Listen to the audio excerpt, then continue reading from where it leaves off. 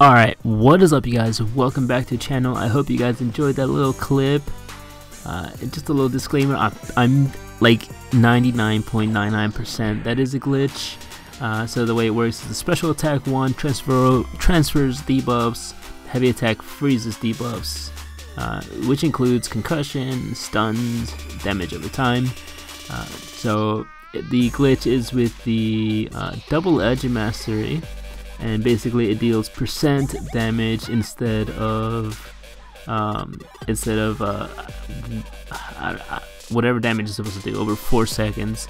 But because you can freeze it and it's doing percent damage uh, yeah he he's capable of doing an, an absurd amount of damage.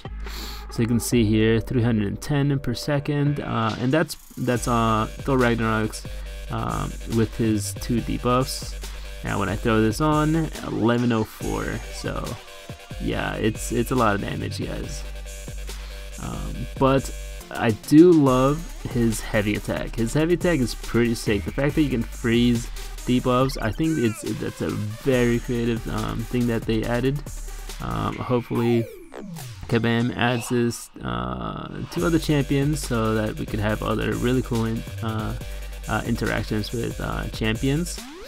Um, as far as the champion, he's pretty tanky. Uh, there's not a lot of use that I saw. Maybe, I, I don't know, but um, besides that, yeah, I think he will probably be on Alliance War defense.